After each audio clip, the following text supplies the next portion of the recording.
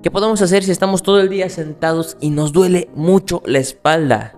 Pues es muy sencillo, no estés todo el día sentado. ¿Qué esperabas? ¿Una solución mágica? No hay un ejercicio, un estiramiento especial, una pastilla mágica para evitar el dolor de espalda por estar demasiadas horas sentado. A lo mucho estarías una o dos horas, que para mí es demasiado, sentado en la misma posición.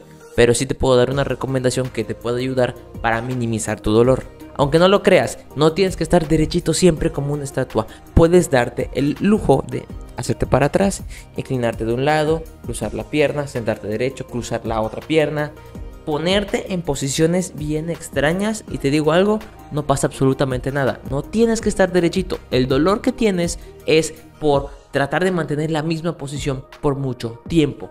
Tú puedes estar aquí 20 minutos, luego te fastidia, cambias el peso, o sea, pones tu peso en la otra nalga, luego cruzas la pierna, luego para atrás, luego para adelante. Esa es una manera en la que si de manera inevitable no puedes pararte, que es lo ideal, cada cierto tiempo nos ponemos de pie y vamos al baño, tomamos agua, cambiamos de posición para evitar estar estáticos. Eso es lo que nos causa el dolor. Si tú puedes de manera voluntaria y no te regañan en tu trabajo cada media hora cambiar de posición es lo ideal. Si no puedes, bueno, cada 15-20 minutos puedes hacer un pequeño estiramiento, girando de un lado, girando del otro, parándote en tu lugar, aunque se vea ridículo, parándote, moviéndote así de un lado, del otro y te vuelves a sentar. Pero desafortunadamente el cuerpo está diseñado para moverse, no para quedarse quieto. Siempre y cuando tú te quedes en una posición por demasiado tiempo, vas a tener dolor. Así que intenta moverte lo poquito que te permita tu trabajo. Si este video te gustó puedes darle like y seguirme, me ayudas mucho compartiendo este video